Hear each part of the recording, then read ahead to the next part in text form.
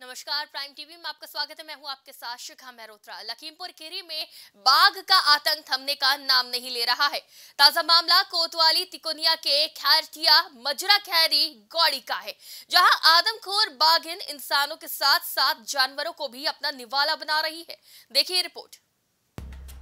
बढ़ते हुए शहरीकरण का वन संपदा पर प्रतिकूल प्रभाव पड़ रहा है, और जिसके चलते आए दिन वन्य जीव सड़क पर और गाँव में भटकते रहते हैं और मौका पाकर हमला कर देते हैं। जी हाँ हम बात कर रहे हैं लखीमपुर की, जहाँ आए दिन बाघों के हमलों की घटना सामने आती रहती है। ये ताज़ा मामला कोतवाली टिकुनिया के खैटिया मजरा खैरी गौड़ी का है।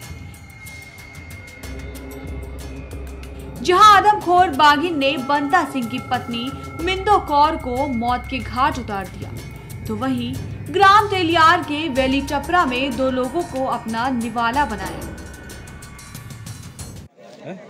ये आदमखोर शेर हो चुका है। लगभग इक्कीस बाईस घटना हो चुकी हैं। यहाँ के तेरह चौदह गाँव में कि आना जाना, बाहर निकलना, खेती करना सब दुश्वार हो चुका है। और वन विभाग की टीम लगी हुई है, अभी तक तो कोई कार्रवाई नहीं हुई है। कि आदमखोर शेर है पकड़ा नहीं जाएगा, इसको गोली का आधार नहीं होना चाहिए। हम लोगों के खेत ऐसे पड़े रह जाएँगे, सब कोई लेबर ने काम नहीं कर रही है।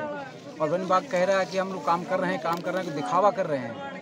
और यहाँ जीना दुश्वार हो चुका है। सब पब्लिक परेशान है।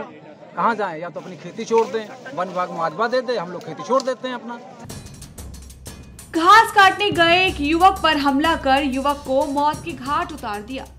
इस तरह से इस आदमखोर बाघिन के हमले में अब तक 21 लोग मारे गए। ये बाघिन इंसानों के साथ साथ जानवरों को भी निशाना बना रही है। मेरी बात सुनो। मैं ये कहता हूँ कि हमारे घर में आके शेर मार रहा है और लेकिन हम छोड़ेंगे नहीं फिर। ये जंगल वाले कुछ नहीं कर सकते तो हम करेंगे।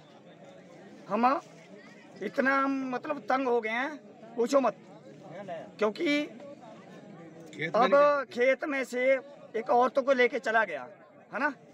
तो चक्कर यह है कि हम क्या हम क्या मतलब बर्दाश्त करेंगे? बर्दाश्त नहीं कर सकते। और लेकिन यार जंगल वाले जो जो भी आ जाएँगे और पीटेंगे भी। दरअसल बताया जा रहा है कि आदमखोर बाघिन बहुत तेज़ी के साथ अपना ठिकाना और लोकेशन बदल रही है। मिंदो कौर की ताज़ा घटना से ग्रामीणों में काफ़ी आक्रोश है। ऐसे में पूरे इलाके में ही दहशत का माहौल बन गया। बाघों के भय से लोगों ने खेतों की तरफ़ जाना बंद कर दिया। तो वहीं गाँव में फूस के छप्परों में रहने वाले गरीब ग्रामीणों में अपने परिवार की सुरक्षा को लेकर डर सताने लगा। और वन विभाग के कर्मचारियों के खिलाफ आक्रोश पनपता दिखा। ग्रामीणों के आक्रोश के बाद पहुँची वन विभाग की टीम ने इस आदमखोर बाघिन को पकड़ लिया है, जिसके बाद ग्रामीणों ने राहत की सांस ली। अब देखने वाली बात ये होगी कि वन विभाग की टीम आगे बाघों के आतंक को रोकने के लिए क्या कुछ कदम उठाती है। Bureau report, prime TV.